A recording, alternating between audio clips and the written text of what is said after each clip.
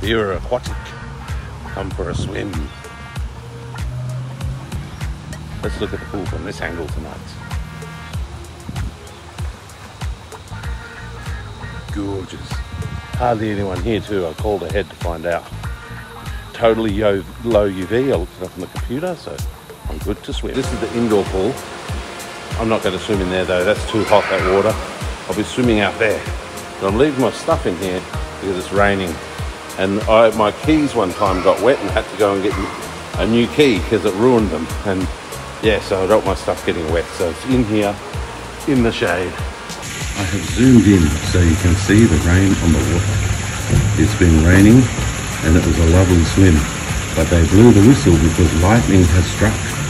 And when the lightning strikes, you have to get out and come to the emergency assembly area. It's the only place you can be at the pool.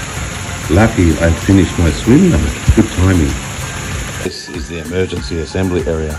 And when they see lightning strike, you have to stay out of the pool for half an hour. And any time lightning strikes again, the half an hour restarts from that point forward. But I've been here before, one time at 5, and lightning had happened, and it didn't happen by 5.30, so we could go swimming again. But I don't want to swim again tonight. I'm finished and going home.